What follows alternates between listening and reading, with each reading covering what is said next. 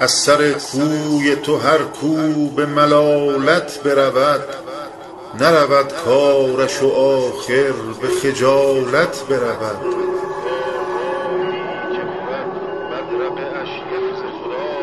کاروانی که بود بدرقه اش حفظ خدا به تجمل بنشیند به جلالت برود. سالک از نور هدایت ببرد راه به دوست که به جایی نرسد گر به ضلالت برود. ای دلیل دل گم گشته خدا را مددی. ای دلیل دل گم گشته خدا را مددی که غریب ار نبرد ره به دلالت برود. حکم مستوری و مستی همه بر خاتمت است.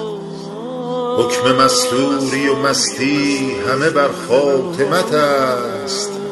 کس ندانست که آخر به چه حالت برود.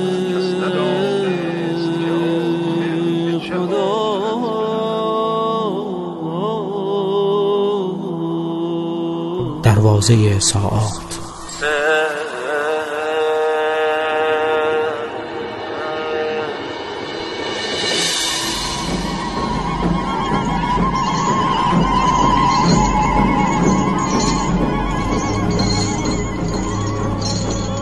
پس از آن که شهر دمشق آزین بندی شد و مردم آماده جشن و پایکوبی شدند در حالی که فرماندهان و سربازان با کبکبه و دبدبه پیشا پیش کاروان در حرکت بودند سرای اهل بیت رو از دروازه ساعات وارد شهر کردند.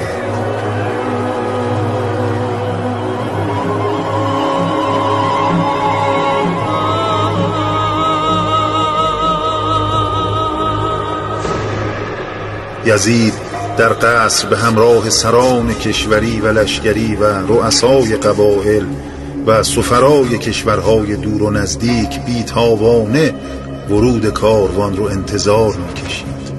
قاخ سبز دمشق هرگز این روزی رو به خود ندیده بود. درها و دیوارها رو با پرچمهای رنگارنگ و زیورالات زینت کرده بودند و بانگ خنده و شادی و تبریک و تهنیت از همه جا به گوش می رسید یزید که از فرط شادی سر از پا نمی شناخت در یکی از ایوانهای قصر که مشرف به دروازه بود قدم می‌زد و برای آن که بر اعصاب خود مسلط باشه پی در پی جامهای شراب رو سر می‌کشید.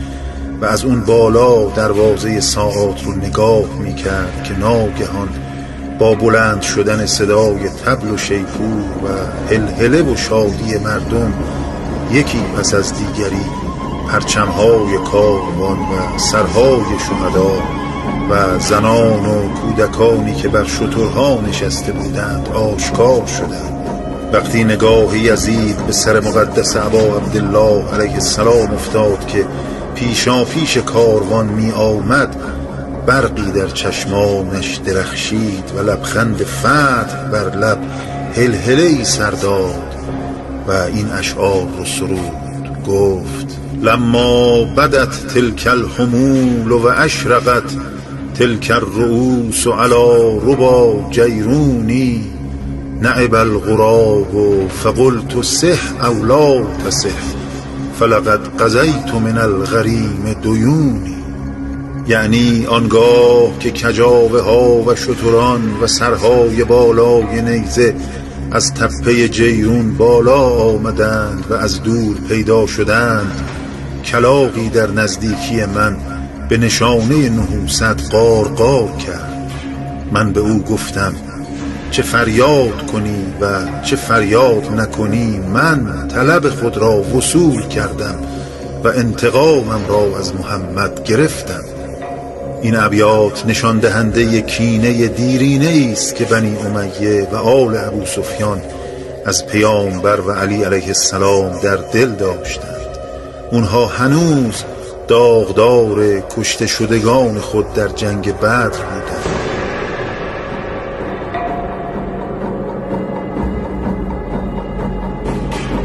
باری وقتی کاروان اسرای آل الله وارد دمشق شد شهر به یک باره از جا کنده شد. به طوری که بانگ هلهله و شادی و تبریک و شاد باش فضای شهر رو پر کرد. مورخان نوشتند به دستور یزید 120 رایت بزرگ در شهر برافراشتند و این پرچمهای رنگارنگ در دست پرچمدارها بود و از دروازه جیرون تا باب تومان دیده می‌شد.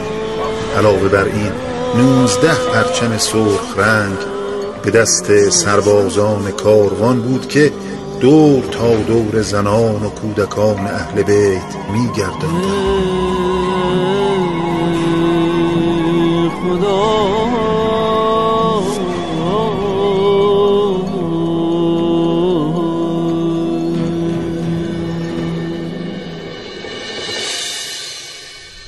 مورخان نوشتند میان قاتلان و حاملان سرها هم در کربلا هم در کوفه و هم پیش از ورود به دمشق.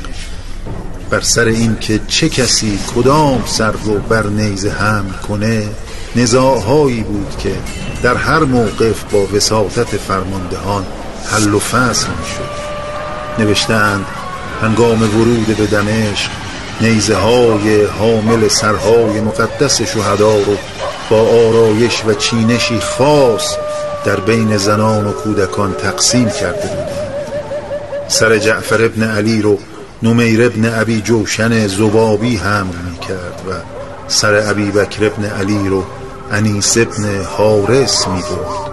حامل سر اون ابن علی جابر سعودی بود و سر یحیی ابن علی رو امیر ابن حجاج کندی می برد و نیزه سر عبدالله ابن عقیل در دست قیس ابن عبی مره بود.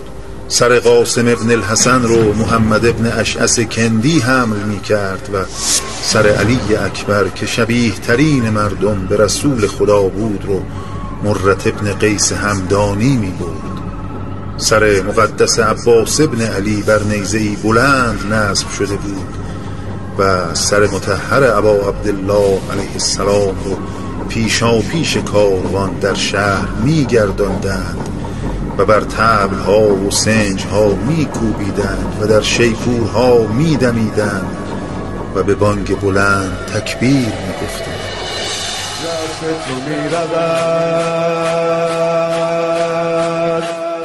می گفتند بالای نجات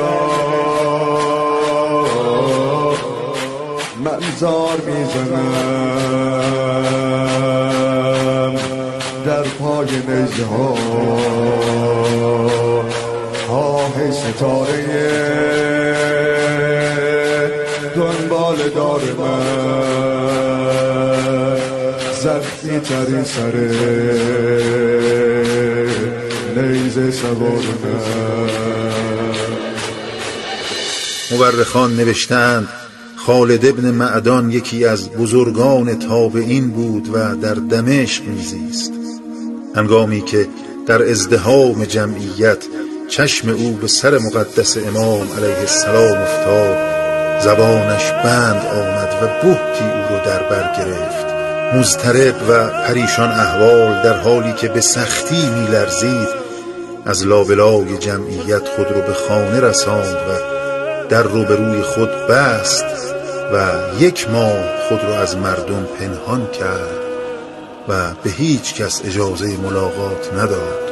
پس از یک ماه وقتی در خانه رو گشود در جواب کسانی که می گفتند این چه حالی است که داری و چرا خود رو مخفی کرده ای شیون می‌زد و می گفت مگر نمی بینید چه بر سر ما آمده؟ نوشتند او پیوسته می گریست و این اشعار رو می خواند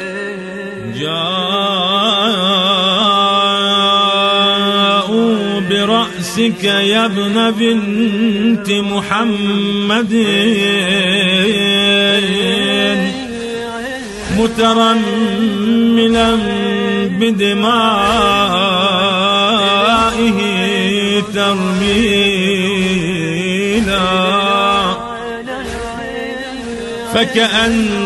فكأنما بك يا ابن بنت محمد قتلوا جهارا عامدين رسولا جاءوا برأسك يا ابن بنت محمد مترملا بدمائه ترميلا وكأنما بك يا ابن بنت محمد قتلوا جهارا آمدين رسولا قتلوك عطشانا ولم يترقبوا في قتلك التنزيل والتأويلا ويكبرون بأن قتلت وإنما قتلوا بك التكبير والتهليلا یعنی ای فرزند دختر پیامبر ای حسین سر بریده تو را در حالی که به خون خذاب شده بود نزد ما آوردند. ای حسین اینان با کشتن تو گویی رسول خدا را به خاک و خون کشیدند. تو را تشنه لب کشتند و با این کار حرمت قرآن و وحی و تنزیل را شکستند. آه ای حسین غریب اینان در قتل تو تکبیر می‌گویند و نمی‌دانند که با کشتن تو تکبیر و تحلیل را کشتهاند. اینان با کشتن تو الله اکبر و لا اله الا الله را کشتهاند. آه یارب روزگار شام شد. آه یارب روزگار شام شد.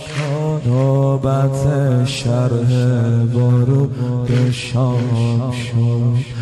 نوبت شرح ورود شام شد.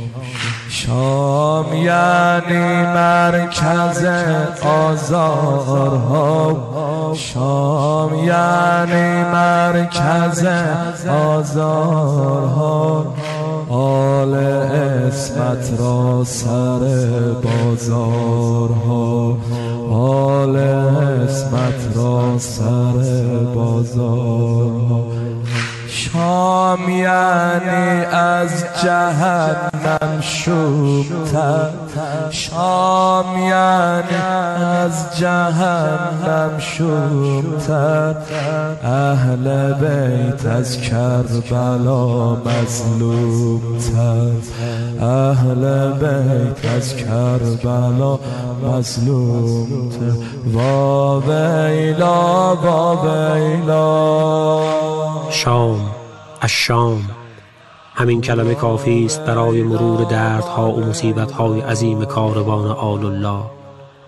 به هنگام ورود کاروان به شام حاطفی خطاب به رأس متحر سید الشهدا علیه السلام فرمود ای حسین مردم به چشمان خود سرمه نابینایی کشیدند و گوشهایشان در شنیدن مصیبت تو ناشنواست و هنوز هم جهان سرمه نابینایی به چشم دارد از دیدن قربت امام عصر علیه السلام. و گوشش ناشنواست از شنیدن حل من ناصر و حل من معین آخرین حجت خدا. بخوان بخوان به نام قربت و تنهایی امام عصر علیه السلام در گوشه زندان غیبت. و به راستی کجاست یاری کننده ای که امام زمان خیش را یاری کند؟ لا يسكن دمي حتى يبعث الله المهدی خون من جوشش داره عشق زهرا میباره. خون من جوشش داره عشق زهرا میباره. تا زمانی که مهدی زلفقا رو برداره زلفقا رو برداره. به دم الحسین عجل فرش به دم الحسین. به دم الحسین عجل فرش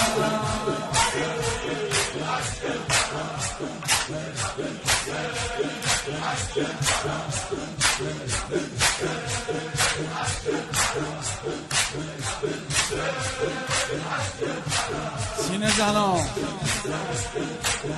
توی غمش باید به سوزی که آماده شی تا روزی که.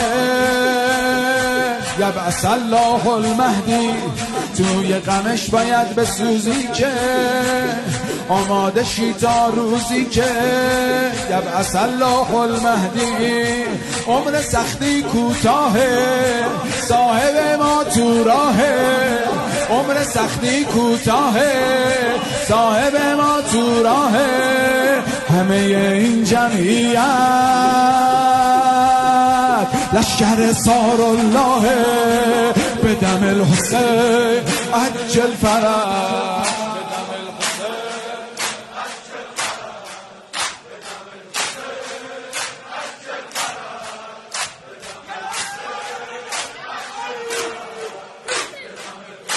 ماشاءالله.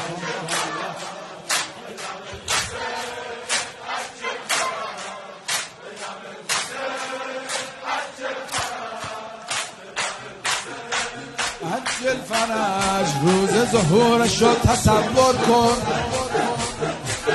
دنیا رو از صدات پر کن.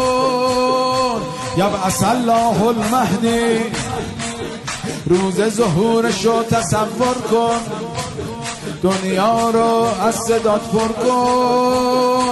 یبعث الله المهدی حاصل این دل عشق موجبی ساحل عشق.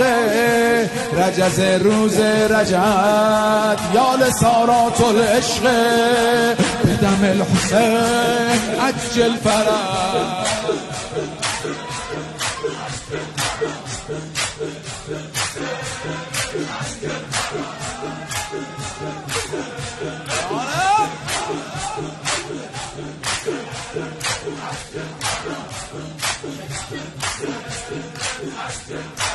پرچم و روی کعبه میکوبه. این قصه آخرش خوبه. یبعث الله المهدی. صف به صف با هم میریم. جون به کف با هم میریم. صف به صف با هم میریم. جون به کف با هم میریم. برا پابوس ارباب از نجف با هم میریم. به دم الحسین عجل فرح